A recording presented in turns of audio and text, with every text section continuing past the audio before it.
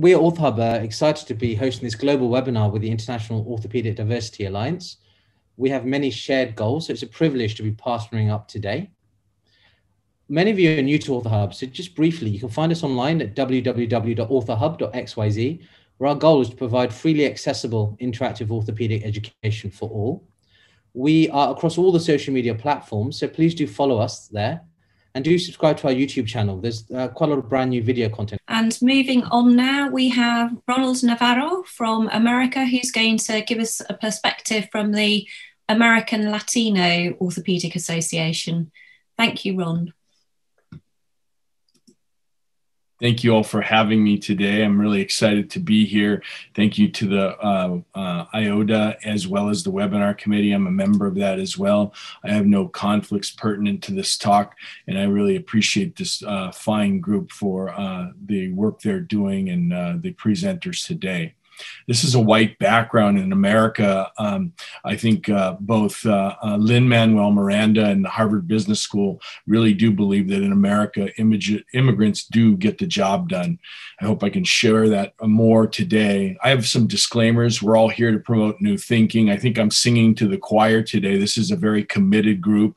Um, we've there's been talk of unconscious and conscious bias, and I hope that nobody, and I don't think this group is uh, engaged in conscious or unconscious denial. I will speak about uh, underrepresented in medicine. I've heard that's actually a newer term instead of underrepresented uh, minorities and uh, US Latino diversity to some degree. I'm just one person. There's so many dimensions of diversity, and uh, I will not discuss social determinants of health, even though, even though uh, they're really important in all of this. I think it's important to story tell and just to know where I'm coming from. I'm a uh, the youngest of a uh, family of five boys to an immigrant Mexican father and a mother whose parents were immigrants from Mexico. No education in my father and high school uh, education in my mother. I went to a predominantly African American high school and uh, played American football. That's my twin brother and I. I'm married to a Caucasian woman and I have mixed children. So that's the perspective I come from from. It's important to know. Everybody's been uh, um, seeing this in America and abroad. There's been civil arrest and uh, unrest in America. This is part of the contextual social milieu. Uh, there's issues of border walls, uh, putting up walls and taking them down. Sexual harassment and abuse has brought forth the Me Too movement. We're a sharply divided country in America, and there are hashtags that come about. I look like a surgeon. I am a surgeon también, and also the Be Ethical campaign, which we hope uh, oversees all that. These issues are difficult to discuss. So I think that this group is amazing in putting forth an effort to talk through a lot of this.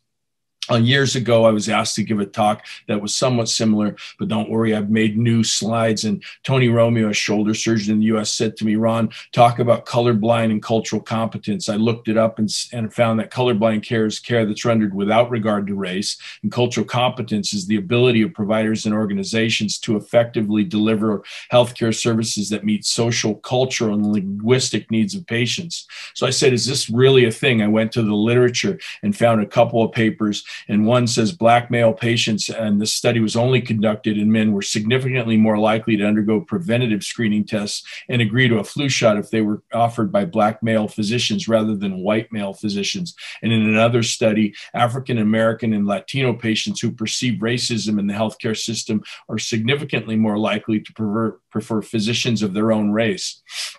What about a diverse workforce? These two uh, uh, publications uh, both uh, generally show that improvements on patient related outcomes are seen in health professionals with culturally and linguistically diverse backgrounds, and language concordance is important. The language concordant doctors and health system interventions seem to promote health, as shown by these two publications. We've been involved in uh, research in uh, uh, in uh, our patients and and, and possible disparities. We t- published in osteoporosis and care of minorities. We published in ACL reconstruction, and we also recently published in shoulder arthroplasty. And we published in several other areas.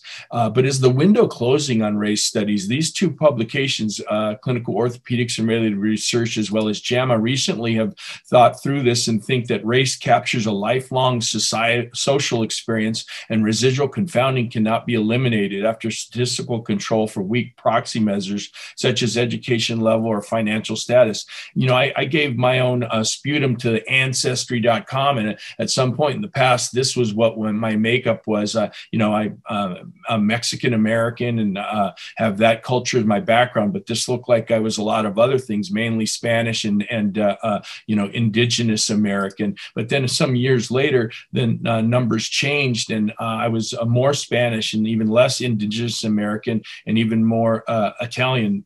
I guess that's why I like the Italian food.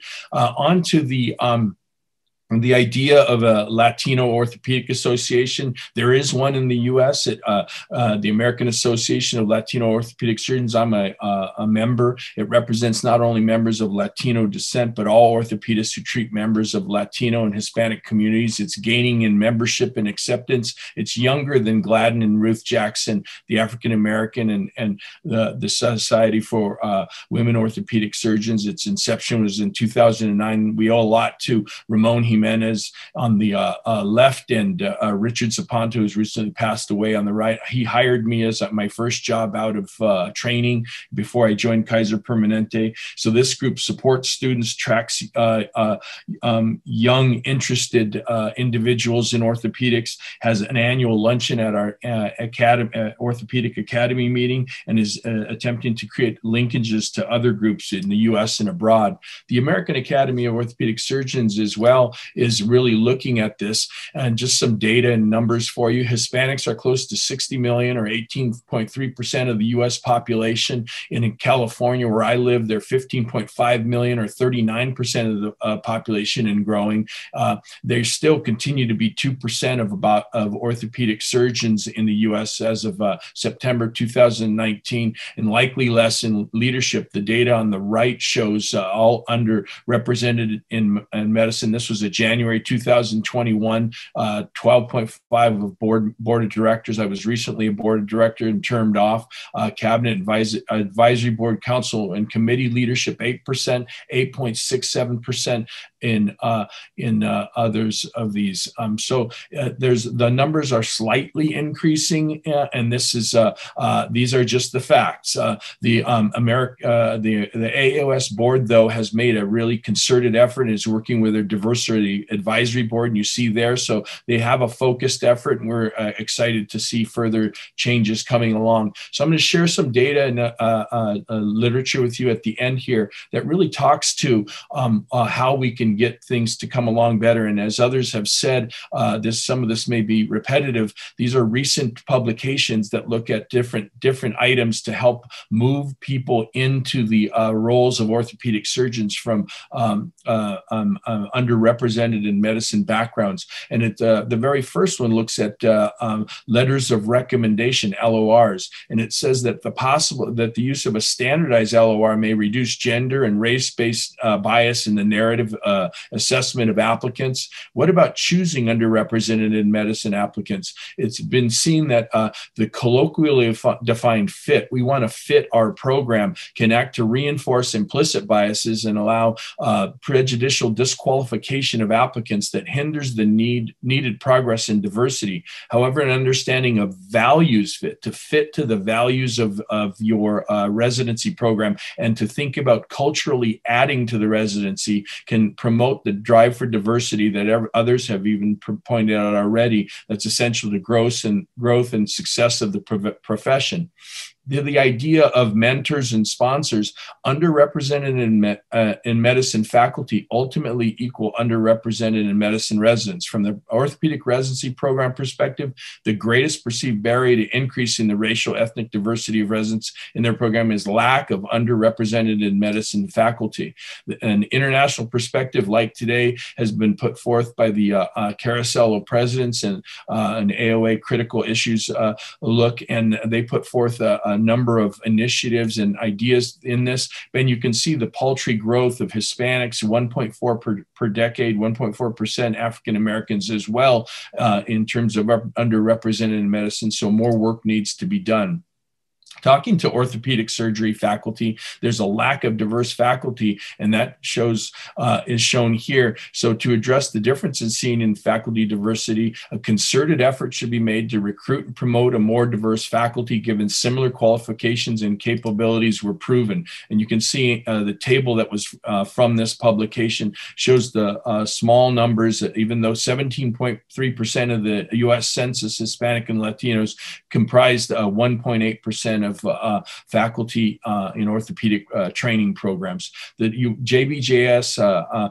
recently has come forth in November of 2020 and put forth, and I direct your eyes to the bottom highlighted portion. They're supporting initiatives, initiatives to increase minority representation in orthopedic surgery programs and academic faculty throughout the U.S. and publish data on these efforts. And they look forward to promote greater diversity within their organization as well. I asked them if I could be an editor. That's kind of a joke. Um, uh, so just recently, as, as recent as this week, I saw this, and Hispanic groups are really reaching out and saying what what is going on in terms of underrepresented minorities, medical students, and this. So this was a questionnaire just put out this week. So we're still asking the same questions. So we talked about sponsoring sponsorship earlier. So who lifted me up? My parents, my brothers, my my wife, my two children. Who has sponsored me? Dr. Fu, I see, is on this call. He uh, Italian American Italian Americans uh, sponsored me in medical school. Uh, J.P. Warner in, my my training. Once again, Dr. Fu uh, throughout and further. An Armenian American was my first was the first to hire me, uh, and I've sponsored females, Asians, and Persians, and I'm continuing to mentor others. And I want to direct your attention to me mentor.org, and I think that's important to know. I'm going to end here. Dr. King, as, well as as others have thought about this, and it, we hope that one day we can all be judged by the uh, by not by the color of our skin, but by the content of our character. And uh, uh, we've heard other thoughts of um, how uh, there's much more that unites us than divides us. We, we, all have to be together, but we have to understand our differences and uh, um, find growth among those who don't actually always agree with us. So, in conclusion, Cultural and language concordance are critical for better patient care. Racial disparity and health uh, uh, outcome studies, I think, are revealing, and I would encourage others to be involved in these uh, questions. Hiring is the holy grail. Diverse and underrepresented in medicine residents are aided by underrepresented in medicine attendings. Mentoring, sponsoring is encouraging at all state is encouraged at all stages, as others have said, and more work is to be done. Thank you very much. Thank you, Ron, for a great talk and some really interesting points on sponsorship and mentorship. Um, do we have any more questions from the audience for our panelists? I think Laura's just said that the papers are really helpful um, and there are quite a lot of papers out there now on diversity and um, initiatives to try and improve uh, the, the situation.